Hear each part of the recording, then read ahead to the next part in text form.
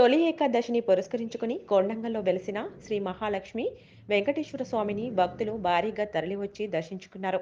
సోమవారం వైకుంఠ ఏకాదశిని పురస్కరించుకుని ముక్కోటి దేవతలు భక్తులు వెంకటేశ్వర దర్శనం కోసం ఉత్తర ద్వారంలో దర్శించుకుంటే సకల కార్యాలు శుభాలే కలుగుతాయనే నమ్మకంతోనే శ్రీ వెంకటేశ్వర స్వామిని దర్శించుకుంటారని పురోహితులు తెలుపుతారు. దీంతో వికారాబాద్ జిల్లా కొండంగల్లో వెలిసిన శ్రీ మహాలక్ష్మి వెంకటేశ్వర దేవాలయంలో వెంకటేశ్వర పూజలు పల్లకి సేవలు నిర్వహించారు. ఈ కార్యక్రమంలో స్థానిక ఎమ్మెల్యే నరేందర్ రెడ్డి పాల్గొని స్వామివారిని దర్శించుకున్నారు.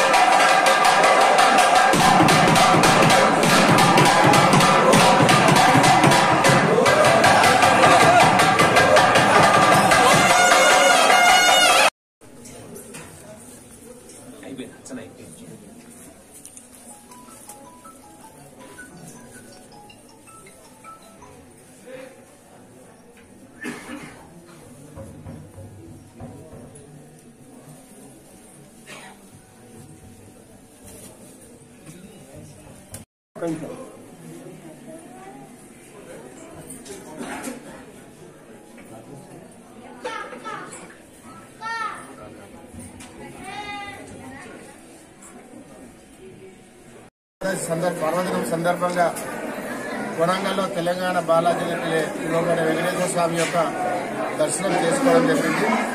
ముఖ్యంగా ఈరోజు నూతన సంవత్సరము ముక్కోటి ఏకాదశి రెండు కూడా కొనంగల్ ప్రజలందరూ కూడా సుఖ సంతోషాలతో ఐశ్వర్యాలతో ఆయు ఆరోగ్యాలతో అందరూ కూడా ఉండాలని చెప్పి భగవంతుని కోరుకుంటున్నాను. అదే వెంకటేశ్వర స్వామి దేవాలయం టెంపుల్ కూడా టెండర్ కంప్లీట్ అయి ఉన్నది కాబట్టి సంక్రాంతి వెళ్ళిన వెంబడే కళ్యాణ మండపం కూడా ఒక ఐదారు నెలల్లో మొత్తం కళ్యాణ మండపాన్ని కంప్లీట్ చేసి భక్తులకు అందిస్తామని చెప్పి తెలియజేసుకుంటాం శ్రీ మహాలక్ష్మి వెంకటేశ్వర స్వామి దేవస్థానం కొడంగల్. ఈ రోజు విశేషంగా ముక్కోటి ఏకాదశి.